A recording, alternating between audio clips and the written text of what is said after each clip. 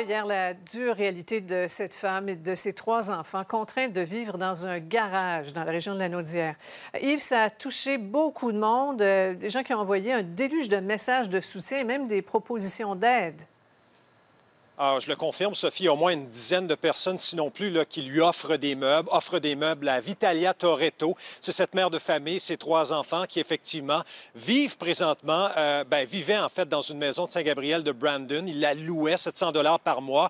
On a constaté la présence de moisissures. Alors, la mère, il y a deux mois, a pris la décision avec ses enfants de déménager juste à côté, Sophie, dans le garage. Vous voyez les images. On a installé des matelas sur des planches de contreplaqué. C'est pas l'idéal. La ministre de l'Habitation, Mme Durand, a pris l'affaire en main et demain matin, la mère de famille a rendez-vous dans les bureaux de l'Office municipal de l'habitation à Joliette. On va analyser son dossier, Sophie, et on veut établir si elle est éligible au programme de supplément au loyer parce qu'elle va déménager bientôt dans un logement à Joliette. Elle pourra peut-être bénéficier de subventions. Elle avait ce message aujourd'hui pour les citoyens.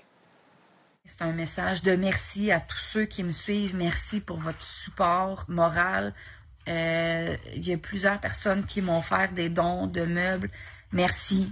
Euh, sérieusement, vous, avez embelli ma vie dernièrement parce que je ne voyais pas le bout. J'étais essoufflée, épuisée. Mes enfants aussi, qu'entre êtres humains, on est capable de faire des miracles. C'est ce qui est arrivé avec ma vie en ce moment.